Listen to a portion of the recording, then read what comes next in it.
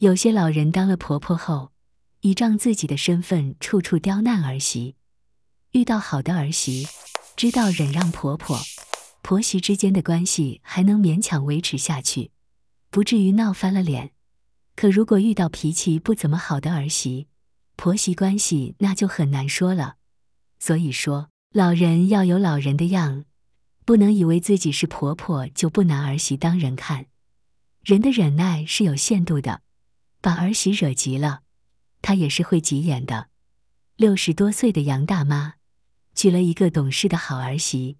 自从儿媳进门后，杨大妈见儿媳好欺负，天天给她脸色看。终于有一天，儿媳爆发了，去旅游的路上，直接把婆婆撵下了车。杨大妈不检讨自己有错，还糊涂以为是儿媳不孝，给儿子打电话诉苦。杨大妈亲口讲述，说起这件事我就气愤。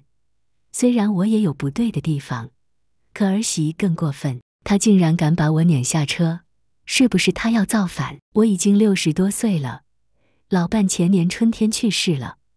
老伴去世后，我就搬到了儿子家去生活。有人劝过我，我有退休金，身板也还硬朗，最好别去儿子家。自己一个人过可能更好。我问他为什么呀？我有儿子，是我把他养大的，他给我养老那是天经地义的事情。有儿子不用，过期作废，我不在乎别人怎么说我，收拾收拾自己的东西去了儿子家。我是听说过的，有些老人在儿子家养老，儿子儿媳对他不好，他也不敢吱声，逆来顺受。任凭儿子儿媳虐待他，我可不是这样软弱的老人。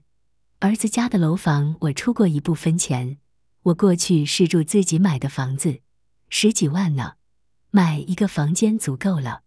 我有一个妹妹，自从娶了儿媳后，她就成了家里的仆人。儿媳什么家务不做，衣来伸手，饭来张口，妹妹任劳任怨伺候儿媳，可儿媳一句也不说她好。我告诉过妹妹，不能惯着儿媳，越惯着她毛病越多。给她点厉害瞧瞧，她就老实了。可妹妹烂泥扶不上墙，不听我的话，还是把儿媳当成宝贝，鞍前马后伺候的那是周周到到。我可不行，最看不惯在一个家庭里没大没小，老人就是老人，小辈就是小辈，小辈要尊重老人。这才符合常理，没听说过老人要尊敬小辈的。我早就知道长幼尊卑这个道理，因此，当儿媳嫁到我家后，我就开始给她立规矩。没有规矩不成方圆。要想让儿媳对你好，不敢小瞧你，你要早早在儿媳心目中树立起威严。一旦你有了威严，儿媳就不敢给你气受了。说句掏心窝子的话。儿媳这个人是不错的，懂事也孝顺。自从她结婚后，早饭都是她做的，每天她都比我先起来，做完早饭招呼我们吃饭，我和老伴才慢悠悠起床。有时儿媳不舒服，前一天晚上跟我说她有点不舒服，第二天让我做早饭，我就回答她我也很头疼，恐怕帮不上她。还是让他做早饭。第二天，儿媳硬挺着起床做早饭。有时老伴说我做的过分了，儿媳不错，我们当老人的要多体谅她，一家人要相互照顾才行。我就瞪他，嫌他多管闲事，怎么和儿媳相处我自有主张。儿媳生了孩子，她坐月子的时候，我一天只给她做三顿饭，我们吃啥她吃啥。从来没有格外对待过。有些当婆婆的，儿媳坐月子，一天给儿媳做七八次饭，还专门给她开小灶。儿媳喜欢吃什么，给儿媳做什么。可儿媳知恩图报了吗？没有。轮到老人不舒服生病，需要有人伺候了，十个有九个儿媳都是爱搭不理的。另外那一个也不怎么样，关心问候一句，老人。老人就像得到了恩宠，高兴的眉开眼笑的。这样的老人不值钱，我可不想学他们。这样说吧，儿媳嫁到我家有三十多年了，在我跟前，她从来都是规规矩矩的，说话不敢对我大声，我说什么她从来不敢违抗。我经常故意刁难儿媳，可每一次她都不搭理我，能躲则躲，实在躲不开了，她笑着说：“妈，你故意刁难我有意思吗？我们可是一家人。”我难过，你真的高兴？你可是我妈呀！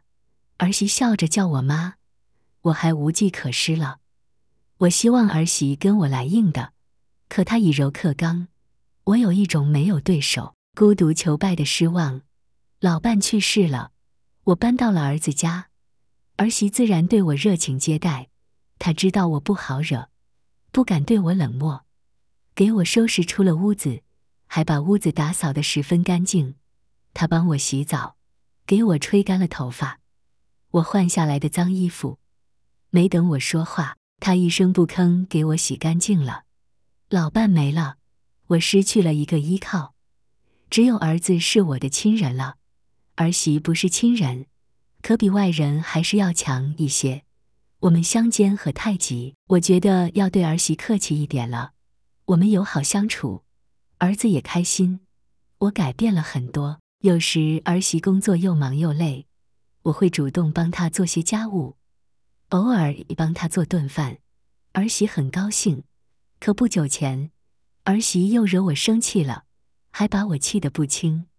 一天，儿媳问我，她要带着她父母去旅游，问我去不去。其实吧，我是想去的，可为了显示我是婆婆的身份，我故意说不去。我的想法是让儿媳多邀请我几次，这样才显得我有身份。可儿媳只问了我一句，没问第二句。第二天早晨我起床后，发觉家里很安静。我喊儿子，儿子不回答；我喊儿媳，儿媳也不回答。我去他们的卧室一看，里面一个人没有。我给儿媳打电话，这才知道。儿子和儿媳带着亲家公、亲家母去旅游了，已经在路上。我那个难过呀！我也想去，可儿媳没有热情邀请我。她要是多问我几遍去不去，我不就去了吗？他们回来后，我演戏给他们看。我拿着老伴的照片，哭天抹泪说：“老头子，你走了，丢下我不管，我一个妇道人家，没有本事。”别人想怎么欺负我就怎么欺负我，我心里苦啊。儿子知道我是故意演给他们看的，不理会我。儿媳比儿子强一点，他问我说：“妈，你是不是也想去旅游？这次没去成，你很失望。这样吧，过几天我带你去旅游，只有我们两个人去，好不好？”我说我不想去，旅游没意思。儿媳说。去吧，你陪我去，我想去，我求你了，儿媳求我了，我才答应他。我受点累陪他去一次。前天，儿媳带我去旅游了，夏天海边最好玩。我们去了有海的城市，儿媳开着车，我坐在副驾驶。本来我心情挺好的，可忽然想到上次他们去旅游没带我去，好心情瞬间没有了。我觉得有必要再给儿媳点颜色看看，让她以后不敢忽视我。儿媳开着空调，不冷不热，温度刚刚好。我却鸡蛋里挑骨头说：“你把空调温度调高点，太冷了，冻得我直打哆嗦。”儿媳把温度调高了几度。过了没几分钟，我又说：“你调的太高了，热得我头疼，调低点。”儿媳又把温度调低了几度，又过了几分钟，我说：“太冷了，你再调高点。”你怎么这么笨，温度都掌握不好？儿媳说：“不是我掌握不好，是你太难伺候了。你少说几句话，我开车呢，不能分心的。”到了一个服务区，儿媳把车停了下来，他去买了两瓶水，给了我一瓶。我一看是矿泉水，有了主意，我让儿媳给我换一瓶，我不喜欢喝矿泉水，喜欢喝饮料。儿媳给我买回了一瓶饮料，我说不能喝有糖的，要喝无糖的。儿媳又去了一次商店，买了一瓶无糖饮料。我还想说话，儿媳说：“妈，你别折腾了，你这样折腾下去，我们天黑了也到不了海边。”我只好闭嘴了。我们离开服务区，上了高速。我还没有消气，心头堵得慌。我挖空心思，又想到了一个消气的好法子。我对儿媳说：“我不想去海边了，我想去看山。登上山顶，一览众山小的感觉，比看海水有意思。”儿媳没有说话。我生气说：“你为什么不说话？没听见吗？我不想去海边了，想去看山。